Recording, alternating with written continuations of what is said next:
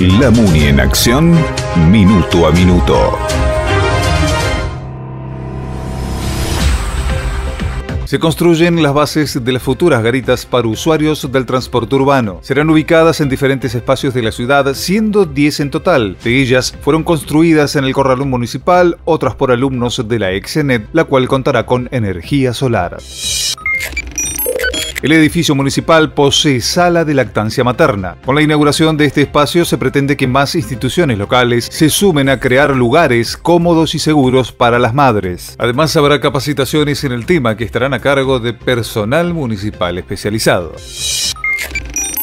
La ciudad refuerza su patrimonio cultural y el sentido de pertenencia belvillense. En el Auditorio de las Artes Alberto Pio Cognini se descubrió la escultura de Negrazón y Chaveta, dos inolvidables personajes creados por este genial autor belvillense con el que se honra ese espacio junto al río Talamochita. La obra fue realizada por Pablo Irgán, la cual es una copia fiel de lo que está emplazada en el Paseo de la Historia ubicado en Puerto Madero. Los familiares del humorista gráfico destacaron muy emocionados que Belville nunca se ha olvidado de Alberto Pío Cognini.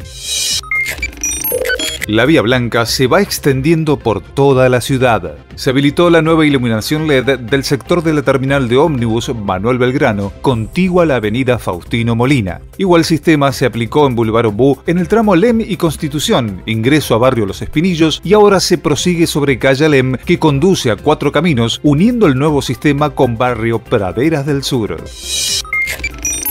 El canal de desagüe de calle Ortiz Herrera y parte de San Jerónimo lleva un avance de obra del 50%. En estos días, con fondos municipales, se está hormigonando un nuevo tramo y pronto se llegará a calle San Jerónimo, donde la construcción se hará por la vereda contigua al predio del ferrocarril. Juntos, seguimos transformando la ciudad. Municipalidad de Belville.